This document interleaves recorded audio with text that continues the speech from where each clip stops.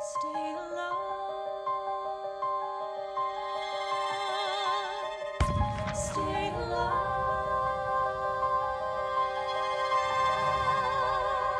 I have never seen the general so despondent. I have taken over writing all his correspondence. Congress writes George attacked the British forces. I shoot back, we have resorted to eating our horses.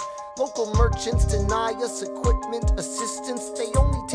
Money, so sing a song of sixpence. The cavalry's not coming. But, sir, Alex, listen, there's only one way for us to win this provoke outrage. Outright. that's right. Don't engage, strike by night. Remain relentless till their troops take flight. Make it impossible to justify the cost of Uh-huh. the fight. Outrun, Outrun, outlast. outlast. Hit 'em quick, get out fast. Stay alive until this horrible show is past.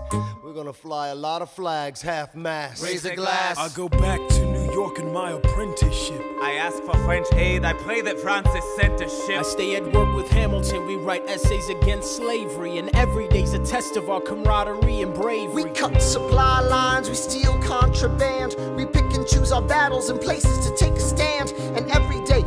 entrust me with a command. And every day, No. he dismisses me out of hand.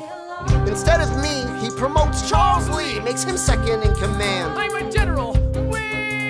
Yeah, he's not the choice I would have gone with. He shits the bed at the Battle of Monmouth. Everyone attack! Retreat! Attack! Retreat! What are you doing? Lee, get back on your feet! There's so many of them. I'm sorry, is this not your speed?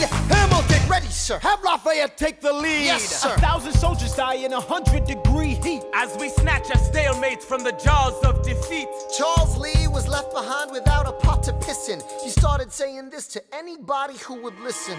Washington cannot be left alone to his devices. Indecisive from crisis to crisis. The best thing he can do for the revolution is turn and go back to planting tobacco in Mount Vernon. Don't do a thing, history will prove him wrong. But, sir, we have a war to fight, let's move along. Strong words from Lee. Someone ought to hold him to it. I can't disobey direct orders.